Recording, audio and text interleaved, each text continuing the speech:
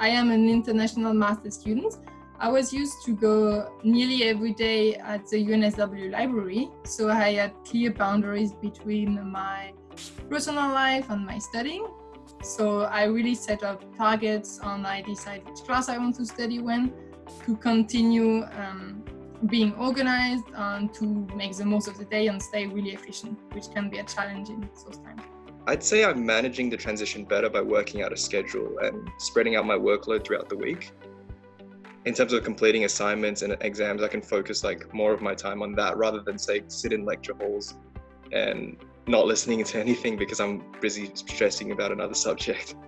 Was that I found certain things actually were better on online context and certain things were worse in online context. It, it's it's happening. It's getting better. I think everyone, both students and teachers, are getting better every day. So you know, modulate what would normally happen in a classroom into you know something which happens on Zoom.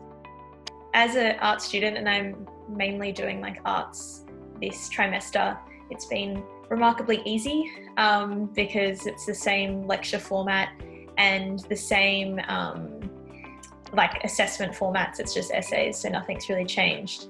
Um, but I think the biggest thing you miss is like the tute conversations with peers and your tutors and just discussing the assessments or like the content of the week. You know, I think the two main challenges that students face is first not having that same kind of human engagement with lecturers and tutors and also just being distracted by all your electronics and youtube and things like this.